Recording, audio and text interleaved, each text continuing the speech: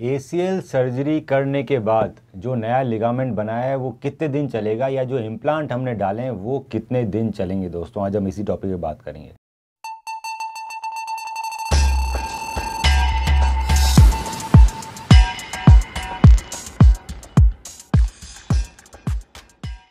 तो जब दोस्तों एसीएल सर्जरी की जाती है पहली बात एसीएल टीयर पे जो सर्जरी की जाती है, वो दूरबीन से की जाती है आर्थरोस्कोपिक मतलब उसमें कोई बड़ा चीरा नहीं लगता, सब कुछ छोटे छोटे होल से, एक पतले से टेलीस्कोप के माध्यम से सर्जरी हो जाती है। जो नया एसीएल बनता है दोस्तों, वो आप ही के मांसपेशी के टुकड़े मतलब हेमस्ट्रिंग टेंडन से निकाला जाता है। ये हेमस्ट्रिंग टेंडन बेसिकली जो थाई होती है, उसके जो पोस्टीरियर मसल्स है, उसको बोलते हैं। हेमस्ट्रिंग टेंडन निकालने के लिए घुटने के नीचे एक छोटा सा छेद बनाया जाता है। और उस छेद में से एक लंबे स्ट्रिपर के माध्यम से हम हैमस्ट्रिंग टेंडन को हार्वेस्ट कर लेते हैं। जनरली लगभग दो हैमस्ट्रिंग टेंडन हम एक घुटने में से निकाल सकते हैं। तो जब भी एसीएल सर्जरी होती है, अगर कन्वेंशनल मेथड से हो रही है बायोस्क्रू के मदद से तो दो हैमस्ट्रिंग टेंडन आपके थाई में से निकाले जाते हैं। उन दोनों टेंडन को डबल किया जाता है। उस टेंडन को ऊपर वाली बोन फीमर के अंदर एंडो बटन या टाइट रोप से जोड़ा जाता है और नीचे वाली बोन टीबिया में बायो स्क्रू या टाइटेनियम स्क्रू या बायो कंपोजिट स्क्रू अलग अलग तरह के स्क्रू आते हैं, उसके माध्यम से जोड़ा जाता है। अगर ये सर्जरी आपकी fibre tape internal brace method से हो रही है दोस्तों तो आपका सिर्फ़ एक ही टेंडन निकाला जाता है। उस एक टेंडन को चार फोल्ड किए जाते हैं उसके। इस सर्जरी में इस जो नया एसीएल बना है आपके एक ही टेंडन से, इसकी मोटाई उतनी ही होती है जितनी बायोस्क्रू सर्जरी में होती है, क्योंकि बायोस्क्रू सर्जरी में दो टेंडन को डबल फोल्ड किया जाता है तो फोर स्टैंड मिलते हैं। यहाँ पे एक ही टेंडन को फोर फोल्ड किया जाता है तो भी हमें फोर स्टैंड ही मिलते हैं। पर मेन बात यह है कि जो दो टेंडन निकलते हैं दोस्तों, उनमें से एक मोटा होता है सेमी टेंडनस और जो ग्रेसिलिस होता है वो पतला होता है। तो जनरली बायोस्क्रू सर्जरी के अंदर आपको चार स्टैंड जो है, उसमें से दो थिक स्टैंड मिलते हैं और दो थिन स्टैंड मिलते हैं। तो जो डायमीटर मिलता है हमें एसीएल का, वो मिलता है हमें सात आठ एम mm का। वहीं जब हम internal brace all inside method से करते हैं तो हम सिर्फ़ सेमी टेंडरनेसेस निकालते हैं और उसको चार फोल्ड कर लेते हैं। तो चारों स्टैंड वो चारों स्टैंड बड़े ही थिक मिलते हैं।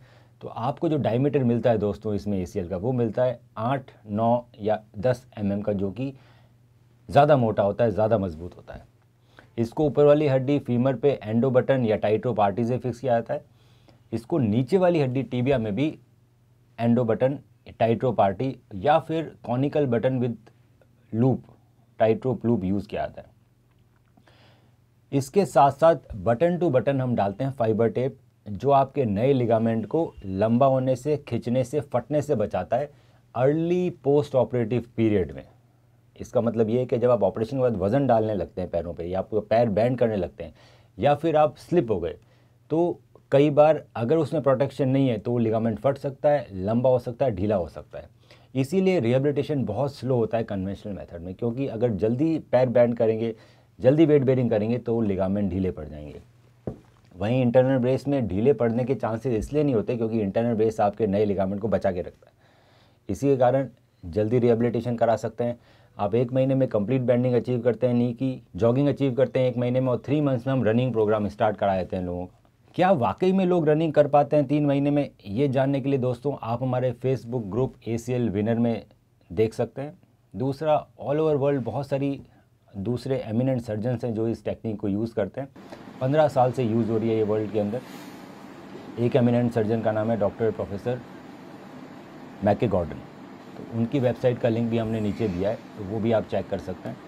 उस वेबसाइट में फ़िज़िकल प्रोटोकॉल, सर्जरी के बाद क्या क्या कैसे कैसे एक्सरसाइज करानी है, उसका बड़ा अच्छा डिस्क्रिप्शन है।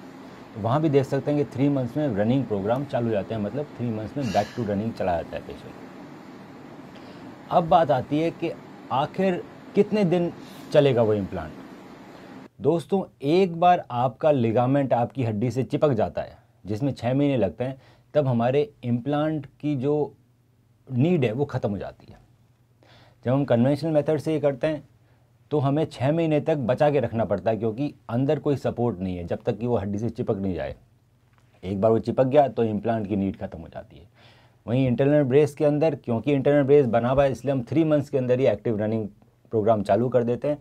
छः महीने में वो लिगामेंट जो हमने नया बनाया है वो आपकी बोन से चिपक जाता है और फाइबर टेप और बटन्स का कोई वैल्यू नहीं रहता, क्योंकि अब आपका ओरिजिनल लिगामेंट बन चुका है आप ही के टेंडन से।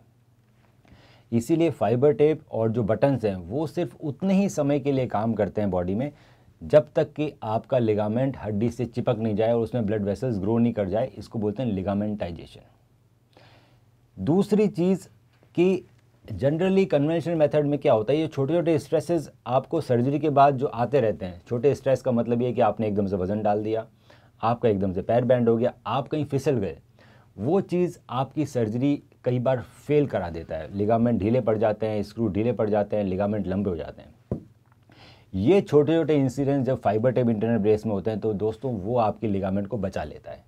जैसे कि कार की सीट बेल्ट होती है, अगर आपका एक्सीडेंट होगा तो एक्सीडेंट से आपको चोट नहीं लगेगी, आप बच जाओगे, सिर्फ़ कार को चोट लगेगी। उसी तरह से अगर आपके एक्सीडेंट हुआ नी का ऑपरेशन के बाद मतलब आपका एकदम से पैर बैंड हो गया, आप फिसल गए, आपको झटका लग गया चलते चलते तो आपके लिगामेंट ढीले नहीं हुए क्योंकि फाइबर टेप इंटरनल ब्रेस आपके नए लिगामेंट को बचा लेगा। जनरली फाइबर टेप थोड़ी सी ढीली रखी जाती है दोस्तों लिगामेंट से। जो हैमस्ट्रिंग टेंडन है, उसकी जो टाइटनेस होती है, उससे हल्की सी ढीली रखते हैं हम फाइबर टेप वो तभी काम करती है जब एक्सेसिव प्रेशर पड़ता है नी पे अदरवाइज़ कोई काम नहीं करती। तो जब भी एक्सेसिव प्रेशर आपको रोज़ पड़ता है नी में, कभी आपने ज़्यादा वज़न रख दिया, कभी आप फिसल गए छः महीने का लंबा ड्यूरेशन है, इसमें हज़ारों बार आपके नी पे एक्सेसिव लोड पड़ेगा।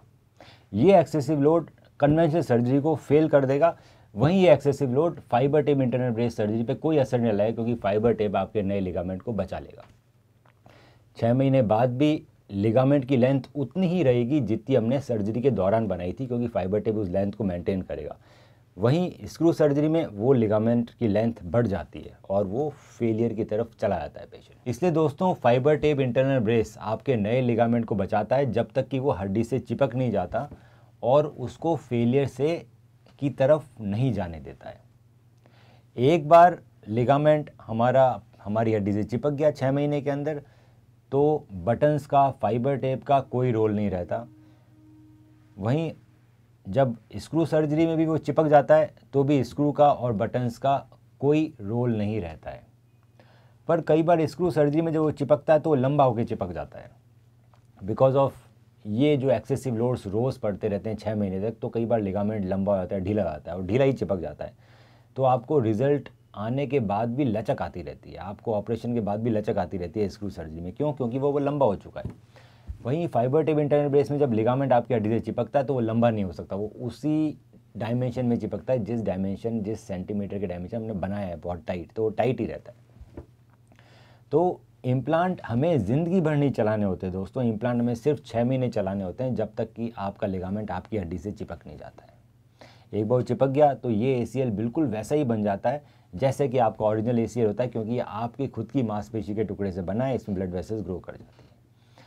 अगर आपको इस बारे में कोई भी कन्फ्यूज़न है, आपके बहुत सारे सवाल उठ रहे हैं मन में तो आप हमें अपनी एम आर आई व्हाट्सएप कर सकते हैं, उसके बाद अपने सवाल भेज सकते हैं और हम उसका निःशुल्क फ्री में जवाब देंगे।